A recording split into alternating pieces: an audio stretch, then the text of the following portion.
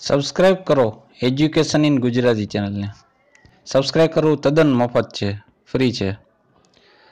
આપણા એજ્યુકેશન ગુજરાતી ચેનલમાં ધોરણ આઠથી માંડીને ધોરણ પાંચ સુધીના ગણિતની બધી માહિતી વિજ્ઞાનની તેમજ અંગ્રેજીના પીરિયડ ગોઠવવામાં આવ્યા છે. જે તમને વિના મૂલ્યે ઇન્ટરનેટના માધ્યમથી મેળવવામાં આવે છે. તેથી સબસ્ક્રાઇબ કરી લો. જેથી તમને તમારા ઈમેલમાંથી ઈમેલ એડ્રેસ ઉપર મેસેજ આવી જાય યુટ્યુબ તરફથી કે હવે આપણો વીડિયો અપલોડ થઈ ગયો છે, જેથી તમે જોઈ શકો. એટલા માટે સબસ્ક્રાઈબ કરવાનું છું તદ્દન ફ્રી છે. થેન્ક યુ આભાર. વિદ્યાર્થી મિત્રો, નમસ્કાર. આપનું હાર્દિક સ્વાગત છે એજ્યુકેશન ગુજરાતીમાં. આજે આપણે જનરલ નોલેજનો ભાગ ત્રીજામાં જોશું ઇમ્પોર્ટેડ પ્રશ્નો જે તમારી આવનારી કોમ્પિટિટિવ એક્ઝામ માટે અગત્યના બની જશે. તો જોઈએ પ્રશ્ન. વેલ્ડિંગમાં કયો ગેસ ઉપયોગમાં લેવાય છે? તો વેલ્ડિંગ કરે ત્યારે એસિટિલિન નામનો જે ગેસ આવે છે એ ઉપયોગમાં આવે છે. પ્રશ્ન. ક્વિક સિલ્વર કઈ ધાતુને કહેવામાં આવે છે? તો ક્વિક સિલ્વર એ પારો ધાતુ છે જે એ કહેવામાં છે ક્વિક સિલ્વર સિલ્વર કલરની પારો હોય છે એટલે એને ક્વિક સિલ્વર તરીકે ઓળખવામાં છે. કબીરવડ ક્યાં આવેલો છે? તો કબીરવડ એ શુક્લ તીર્થમાં આવેલો છે. પ્રશ્ન, સૌપ્રથમ પોકેટ વીટોનો ઉપયોગ કયા રાષ્ટ્રપતિએ કર્યો હતો? તો સૌપ્રથમ પોકેટ વીટોનો ઉપયોગ. જ્ઞાની ઝેલસિંહ રાષ્ટ્રપતિએ કરેલો છે.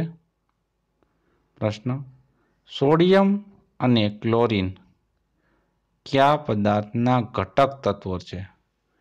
સોડિયમ એટલે એને અને ક્લોરિન એટલે સીએલ એને સીએલ એટલે થાય મીઠું. આ સંયોજન છે સોડિયમ અને ક્લોરિનનું પદાર્થનો ઘટક તત્વ છે મીઠું. એના બે આ બે ભેગા થાય એટલે મીઠું બને. પ્રશ્ન, વનસ્પતિને હાઇડ્રોજન તત્વ શામાંથી મળે છે? તો વનસ્પતિને હાઇડ્રોજન તત્વ પાણીમાંથી મળે છે. કારણ કે પાણી એટલે H two O H two એટલે હાઇડ્રોજન અને ઓ એટલે ઓક્સિજનનો એકણો. ઓક્સિજનનો એકણો એ દૂર કરી દેશે અને હાઇડ્રોજન એમાંથી મેળવી લેશે એટલે પાણીમાંથી વનસ્પતિ હાઇડ્રોજન મેળવે છે. મોતીબાગ સ્ટેડિયમ ગુજરાતના કયા શહેરમાં આવેલું છે? તો મોતીબાગ સ્ટેડિયમ ગુજરાતના વડોદરા શહેરમાં આવેલ છે. પ્રશ્ન, ભારતના વર્તમાન રાષ્ટ્રપતિને કેટલું વેતન પ્રતિ માસ આપવામાં આવે છે? તો ભારતના રાષ્ટ્રપતિને, વર્તમાન રાષ્ટ્રપતિ, હાલના રાષ્ટ્રપતિને એક પોઈન્ટ પચાસ એટલે દોઢ લાખ રૂપિયા વેતન પ્રતિ માસ દર મહિને આપવામાં આવે છે. દોઢ લાખ રૂપિયા.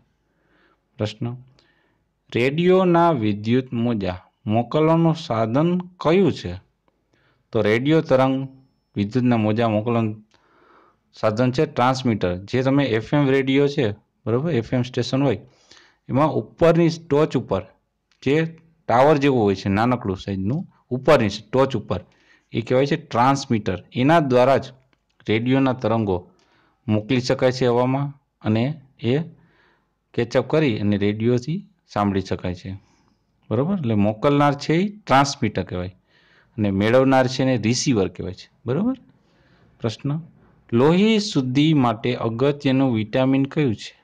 લોહી શુદ્ધિ કરવા માટે વિટામિન સી જે ખાટા ફળોમાંથી આપણે મળે છે. એ ખાટા ફળમાંથી મળતું વિટામિન સી એ લોહી શુદ્ધિ કરવા માટે અગત્યનું વિટામિન છે. પ્રશ્ન.